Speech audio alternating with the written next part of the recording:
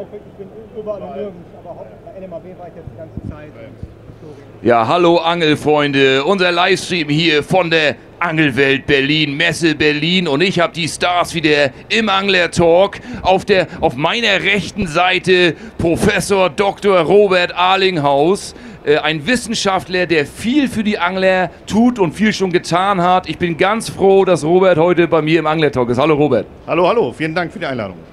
Und auf der, meiner linken Seite ist der Weltmeister Dietmar Isaias, äh, ein Angler, den eigentlich jeder kennt. Ja, also ganz bekannt, schon lange in der Angelszene. Wir kennen uns seit über 30 Jahren, glaube ich, bestimmt. Didi, ja, also ich bin auch immer ganz äh, stolz, wenn Didi bei mir im Angler-Talk ist. Und wir mögen uns persönlich auch, sind befreundet zusammen. Und schön, dass du da bist. Danke, Didi. Ich habe zu danken. Dankeschön. Dietmar, die erste Frage an dich. Angelwelt Berlin, eine mega, mega Messe. Guck mal, was hier los ist. Alles voll Menschen. Wahnsinn, oder? Ja, vor allem, das hat sich in den letzten Jahren richtig zu einer richtig coolen Messe entwickelt, wahrscheinlich die größte in Deutschland. Und wenn ich mal so Revue passieren lasse, so die letzten sieben, acht, neun Jahre, als das hier so in den Kinderschuhen war und äh, Barbara und später dann Felix kam und sagte, wie kann man so eine Messe richtig cool gestalten, haben die wirklich was Tolles draus gemacht. Denn die haben vor allen Dingen eine Sache erkannt, man muss mit der Zeit mitgehen, man darf die Influencer nicht vergessen, man muss die Jugend mitnehmen und das ist unsere Zukunft. Und wenn die das richtig aufbauen, wird das noch für die nächsten Jahre die Messe schlechthin. Ja, unglaublich viele Stände und Robert Arlinghaus, Professor Dr. Robert Arlinghaus, muss ich ja sagen, ja, ist ja auch da. Und Robert, wir kennen uns vom NDR. Wir haben einige Filme dort schon gedreht vom Norddeutschen Rundfunk, gerade was Hechte angeht, ja, mit Heinz Galling zusammen aus Rude raus, der Spaß beginnt. Und was gibt es Neues an Erkenntnissen, gerade bei den Fischen? Wie, Thema Entnahmefenster zum Beispiel. Ja, da haben wir ein paar neue Studien gemacht, ähm, konnten tatsächlich nachweisen, dass diese Vermutung, die wir immer hatten, dass die großen Fische mehr Nachkommen produzieren, tatsächlich belegt ist. Also wir haben Nachkommen genetisch zugeordnet in einem See den Eltern und können das nachweisen. Also pro Kopf, pro Tier gibt es da eine höhere Nachkommensleistung der großen Fische. Und das ist sicherlich ein neues, wichtiges Ergebnis, gerade im Kontext Entnahmefenster, weil da ja die Großen geschont werden sollen, eben um den Bestand zu erhalten. Ja, ich mache ja nur auch Ausbilder, bin ich in Hamburg und äh, bilde viele Anglerinnen und Angler aus. Und da haben wir ja schon im Fischereigesetz ein Entnahmefenster drin. Das heißt, große Fische müssen zurück. Da hast du auch viel mitgewirkt in Hamburg selbst, dass Hamburg praktisch das erste Bundesland ist, was ein Entnahmefenster in der, im, im, im, im Gesetz verankert hat. Das ist richtig, liegt in Hamburg aber auch daran, dass die Elbe da so ein dominanter, dominantes Gebiet ist. Man muss bei der Bewirtschaftung immer darauf achten, dass das Gewässer bezogen ist. Und ich wäre jetzt kein großer Freund zu sagen, man muss jetzt Entnahmefenster immer überall, sondern es ist wirklich gewässerspezifisch. Bei starkem Angel- und Fischereidruck ist das eine wichtige Maßnahme, sodass es an der, an der Elbe Sinn macht. Und es gibt ja auch in den Binnengewässern genügend Bewirtschafter, denken wir an einige Berufsfischereibetriebe, viele Angelvereine, die das auch eigenverantwortlich umsetzen. Es muss also nicht zwangsläufig im Fischereigesetz sein, es kann eben auch in der lokalen Gewässerordnung gewässerspezifisch implementiert werden. Kann ja. ich nur bestätigen. Also das, das, was du gerade gesagt hast, ähm, haben wir vor vielen Jahren schon festgestellt. Äh, es gibt zum Beispiel auch Gewässer in den Niederlanden, wo man trotz des Fischpasses auch noch eine zusätzliche Angelerlaubnis kaufen kann. Ein Beispiel ist zum Beispiel Alkmaarder Meer oben bei Amsterdam.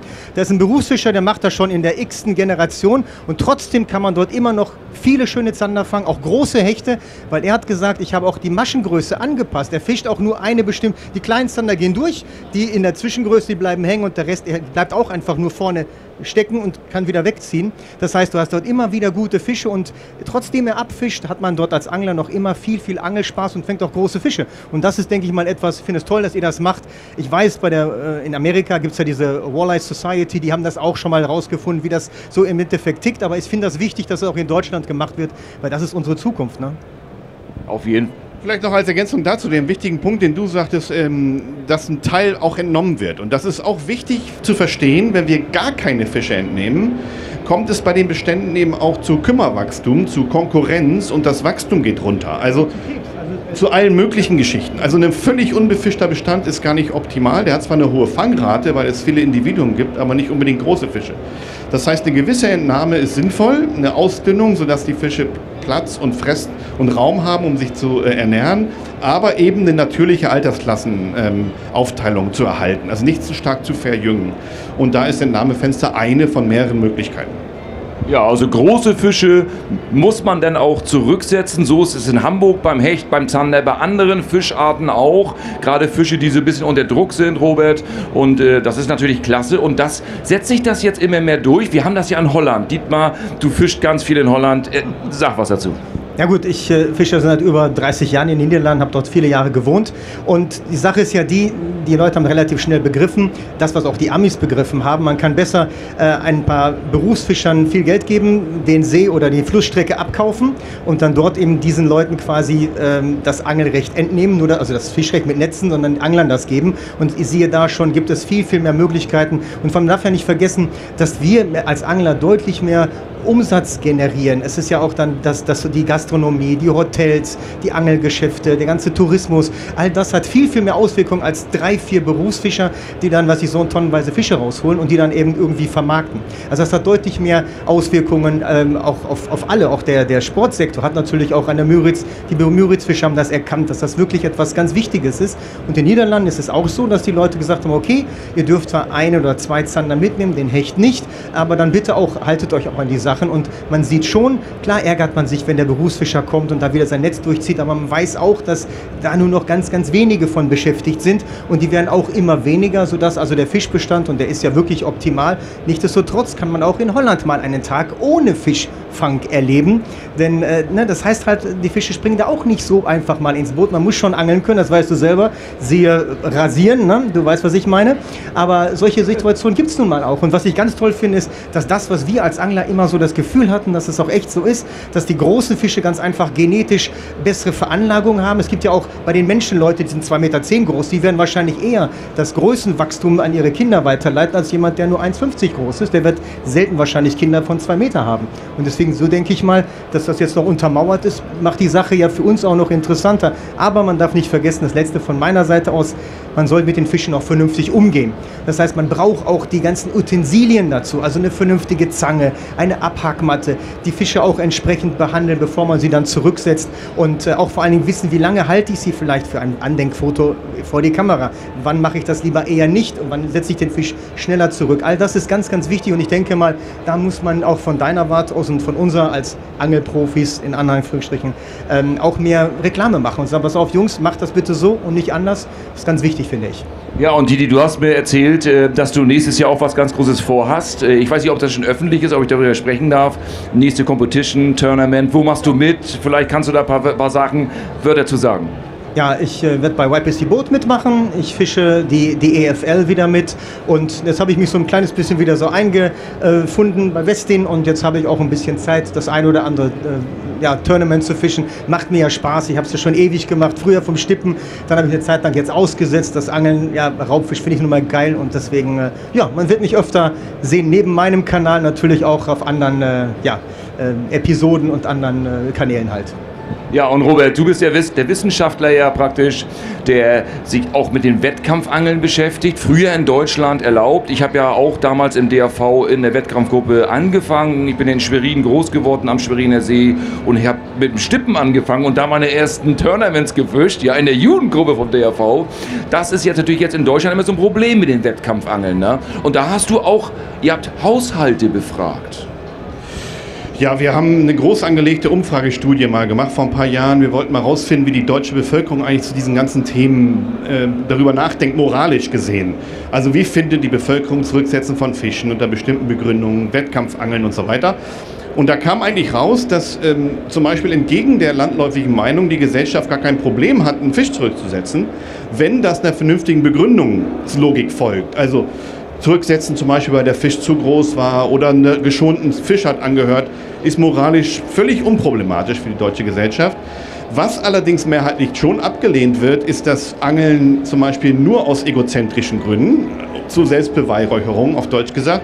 Da gibt es eine deutliche Mehrheit, die das moralisch problematisch findet und da ist eben auch das Wettkampfangeln zu sehen.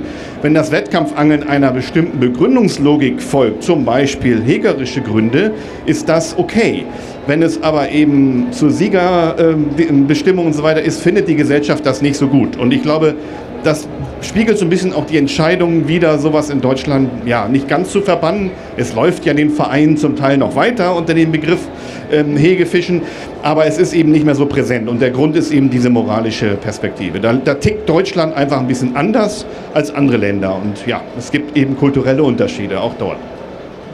Ja, und da gibt es natürlich, obwohl man über ein Europa redet, doch unterschiedliche äh, Stellungnahmen, auch was die Leute betrifft, die dann sagen, kommt, wie bei uns in Italien, England, Frankreich ist das ganz normal. Bei uns wird das halt anders gesehen. USA auch eine ganz wichtige Sache. Da ist das halt äh, gang und gäbe. Und es hat mich damals, als ich in den USA als kleiner Junge da unten war, regelmäßig fasziniert, wenn man da die ganzen Pros gesehen hat, wie, wie für, wie selbstverständlich das für die Leute war. Aber auch das selbstverständliche Umgehen mit den Fischen. Und was ich auch ganz, ganz cool finde, wenn man jetzt mal die Niederlande betrachtet, da hat man auch die Möglichkeit, ähm, das Fach Angeln in irgendeiner Form auch zu seinem Beruf zu machen. Ich habe die Möglichkeit gehabt, zwei Semester habe ich eine kleine Professur gehabt auf einer Universität, habe dann quasi Fishing Economy quasi gelehrt, wenn man so will. Und da kann man, wenn man das studiert in den Niederlanden, kann man zum Beispiel ein Angelgeschäft führen oder in der Angelbranche als irgendein Marketingmanager oder Sales Manager oder ähnliches zu arbeiten, aber auch vielleicht seinen eigenen Fishery zu haben, seinen eigenen kleinen See, den man bewirtschaftet oder selbst Fischer zu werden. Das finde ich schon ganz cool. Und auch wenn man bedenkt, dass in der, in der Schule, wenn die, wenn die Kids dort in der zweiten, dritten Klasse sind, dann gibt es dort Angelvereine, die haben dort ähm, Lehrer, Angellehrer, die gehen mit den Stippen in den Poldern. Ein paar Rotaugen fangen, ein paar Kaulbarsche fangen oder was auch immer. Und dann werden die Fische entnommen, die kommen in ein Aquarium und in der Schule ist eine unterschiedliche Reihe von Kindern verantwortlich für eine Woche für die Fische. Die müssen sie füttern, sie müssen gucken, dass der pH-Wert stimmt. Und wenn dann ein Fisch stirbt, da gibt da richtig großes Theater. Hey, wir haben jetzt hier Max, den Kaulbarsch, schon zwei Wochen oder drei Wochen lang gut gekriegt der, der lebt noch und jetzt kommt ihr dran und plötzlich ist Max tot, nachdem wir am Wochenende wiedergekommen sind. Man sieht, dass die Leute auch ein Verständnis für die Fische finden finden. Und deswegen in den Niederlanden, wie oft habe ich das erlebt, man ist dort in so einer, in einer kleinen Innenstadt, fängt so ein Hecht beim Polderangeln und die Leute warten, was passiert jetzt damit? Und du unterhakst den Fisch vernünftig, setzt ihn zurück, da applaudieren die, da klatschen die, winken dir zu, ey, gut getan oder so, ne? in dieser Art und Weise. Man sieht, dass die, das Verständnis dafür ein ganz anderes ist und das finde ich schön, wenn es irgendwann mehr und mehr auch in Deutschland der Fall ist. Ja, ich glaube, das setzt sich auch immer mehr durch. Ne? Also gerade die ja, Nachhaltigkeit, eine gesunde Nachhaltigkeit, dass man eventuell auch dann große Fische, die gut für den Bestand sind, zurücksetzt. Wir haben das in Hamburg jetzt ganz stark. Wir haben es bei den Müritzfäschern schon seit vielen Jahren, bei dem Hecht im Beispiel. Folgen dann noch andere Bundesländer, weil die, die Schwierigkeit ist ja in Deutschland, jedes Bundesland hat sein eigenes Fischereigesetz. Nur bin ich selber auch Präsident im Anglerverband Schleswig-Holstein und wir versuchen ja alles irgendwie möglich zu machen, um es den Anglern einfacher zu machen. Ja? Gibt es da so Tendenzen, Robert, von der Wissenschaft auch auch? Auf jeden Fall. Also man muss schon klar sagen, dass eigentlich beide Extrempositionen, also jeden Fisch zu töten und jeden Fisch zurückzusetzen, das ist etwas, was eigentlich problematisch ist. Und dieser Mittelweg und dann auch selbstbestimmt vielleicht auch mal einen Fisch zurückzusetzen, ist etwas, was sich mehr und mehr durchsetzt, weil es ja auch logisch ist, weil es dem Zeitgeist entspricht, weil es da auch gut wissenschaftliche Daten gibt, dass das Zurücksetzen dann auch okay ist. Die Extrempositionen bleiben problematisch. Aber im Mittelweg funktioniert es und dort gibt es jetzt unterschiedliche Bundesländer, die unterschiedlich damit umgehen. In äh, Hamburg ist es im Gesetz, in anderen Bundesländern wird gesagt, das muss, äh, diese Regelung muss dem lokalen Bewirtschafter überlassen werden. Da haben wir gerade mit Kollegen vom Anglerverband Niedersachsen Umfragedaten aus Niedersachsen. Da haben jetzt 20 Prozent der Vereine in der Namefenster schon selbstbestimmt eingesetzt. Es gibt selbst in Bayern Debatten, dass man unter bestimmten Ding, äh, Bedingungen eben auch über das Zurücksetzen nachdenken kann, dass Angelvereine sich bewerben können, zum Artenschutz dort das einzuführen und so weiter. Ich könnte mehr und mehr Beispiele bringen. Es wird nicht dahin kommen in Deutschland, dass wir alles zurücksetzen dürfen. Ne? Einfach dieses sportliche, ich angel nur, um mich irgendwie im Fisch am Foto zu haben, das ist einfach nicht mit dem Zeitgeist in Einklang zu bringen. Aber das andere Extrem, jeden Fisch umzubringen und damit ökologischen Problem zu produzieren, ist genauso am Absterben. Und äh, von daher zottelt sich da so ein Mittelweg zusammen. Und Entnahmefenster ist eine Maßnahme. Es gibt aber auch andere, wie zum Beispiel Schonstrecken einzurichten und so weiter, um den Fischereidruck einfach zu reduzieren und damit eben gesündere Bestände zu erhalten. So, und ich habe ihn ja hier, den Weltmeister Dietmar Isaias. Und Didi, was gibt es Neues bei Westin? Du bist bei Westin, du hast neue Köder entwickelt bestimmt. Und äh, hast du da einen Tipp, wenn jetzt jemand anfangen will mit Angeln, er möchte vielleicht mal einen Zander fangen oder einen Hecht, welchen Köder willst du dem auf jeden Fall empfehlen? Komm. Naja, das ist nicht einfach so sagen, denn in den meisten Fällen, das hatte ich heute auch mehrere Male gehabt, dann frage ich immer, ähm, ah, wo angelst du? Wie sieht dein Gewässer aus? Wie tief ist es? Gibt es dort Strömung oder nicht? Welche Wassertrübung hat es? Und dann kommt man eigentlich zu einem, äh, schlussendlich zu einem Köder, wo man sagt, okay, du willst auf Hechte angeln, hast ein flaches Gewässer, ich würde dir den Swim empfehlen. Ähm, du hast einen etwas tieferen Fluss, du musst dort in der Strömung fischen, würde ich dir einen Gummifisch, ein Chatties mit einem entsprechenden Bleikopf empfehlen. Ich habe ein hängerreiches Gewässer, wo ich vielleicht Kraut habe, dann würde ich eher mit einem Spinnerbait angeln oder mit einem entsprechenden Chatterbait, den man drüber führt. Also es ist nicht so den universalen ähm, Köder, den gibt es da nicht. Das weißt du ja selber. Du wirst nicht nur mit deinem Popeye Fische fangen, du wirst auch mit anderen Ködern Fische fangen und die kann man ja auch unterschiedlich einsetzen. Guck mal, deinen Popeye kannst du mit einem Jighaken fischen, über den Boden gefischt. Wenn ich hingehe und nehme einen Offset-Haken mit ein bisschen Blei unten am Haken, kann ich den zum Beispiel ganz langsam über Kraut einleiern. Fische ich den zum Beispiel am Dropshot, kann ich den auch Dropshot fischen. Du siehst, ein Köder, drei Varianten, drei verschiedene Gewässer, drei Leute glücklich gemacht. Ja, und die Fische müssen ja auch am Spot sein. Und der Wissenschaftler, der hat auch noch was dazu zu sagen. Ja, und nichts ersetzt einfach die Fähigkeit, den Fisch zu finden und einfach viel zu angeln. Und dann ist der Köder zwar wichtig, aber nicht ganz so wichtig. Zeit fängt. Zeit fängt, das ist ja auch dein Spruch. Und das gibt tatsächlich auch wissenschaftliche Studien dazu. Wir haben eine gerade gemacht, so eine... Ähm, ja, die in den Anglerkreisen häufig diskutierte Geschichte UV oder nicht UV. Und dann haben wir so einen engagierten Angler in der Arbeitsgruppe, der Marlon Braun, der gesagt hat, komm, da mache ich eine Studie zu. Und der hat dann also mit seinen Freunden da zusammen richtig kontrolliert mal kleine Gummiköder verwendet, UV und nicht UV und auf Barsch geangelt. Und eine ganze Saison halt geschaut, ob wir da einen Unterschied finden. Und die Antwort ist, es gibt keinen Unterschied. Es gibt einige Tage, wo UV alles Grund und Boden fängt. In einem anderen Tag ist es der andere Köder.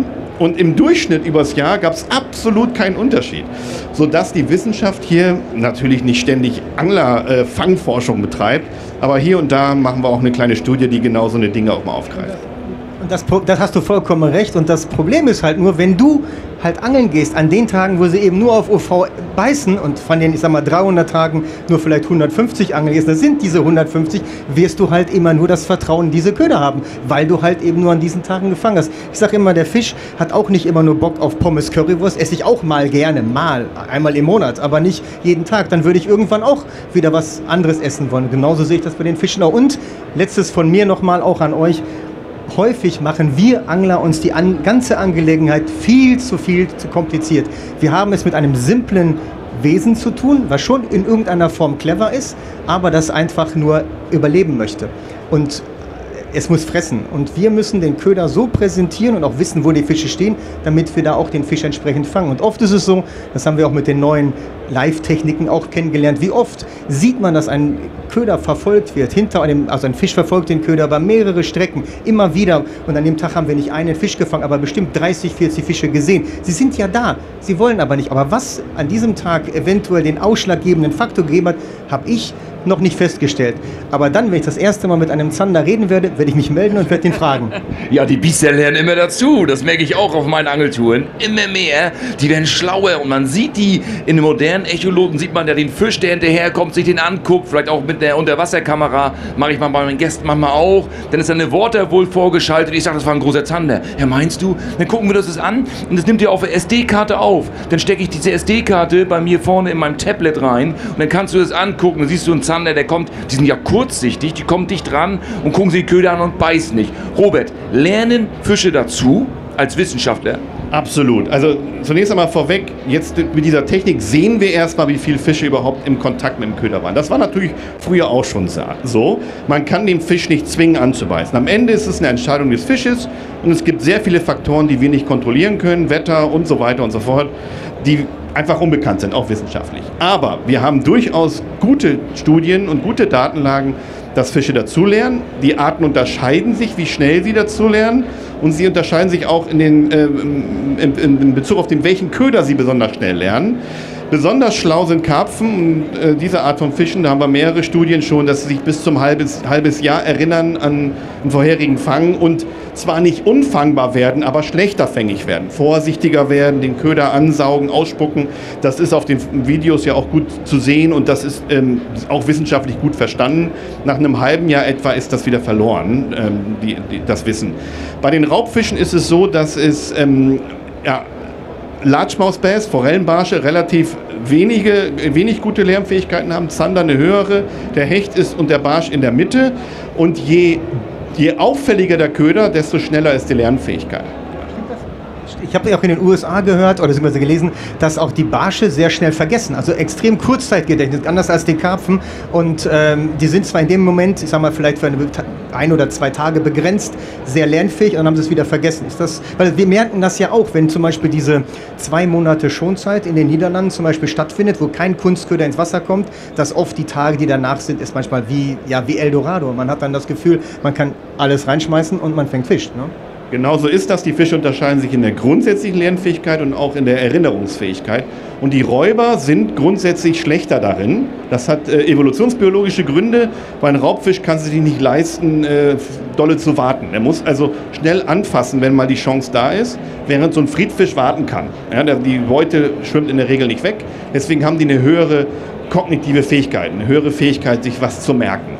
Bei den Räubern ist es so, dass es genauso wie du das gesagt hast, je je doller der Fischereidruck konstant herrscht, desto mehr sind die Fische in Alarmbereitschaft. Und wenn du dann Pausen einbaust, eine Stelle nicht befischt oder es gibt schon äh, Bereiche, dann gibt's, ist das Vergessen relativ schnell und die Fische sind dann wieder reaktiv und lassen sich dann auch wieder mit den alten Ködern fangen. Also das ist in vielen Studien nachgewiesen worden, haben wir selbst an Forellen untersucht. Äh, eine lustige Studie, wo wir in Teichen gearbeitet haben, wo wir konstant gefischt haben und die Fische eine, einen Sender getragen haben. Wir konnten also sehen, wer wie, wie häufig am Köder war. Und dann haben wir Pausen eingebaut, drei Tage, sieben Tage nicht befischt. Und man sieht, dass die Fangraten abrauschen, wenn du konstant beangelst.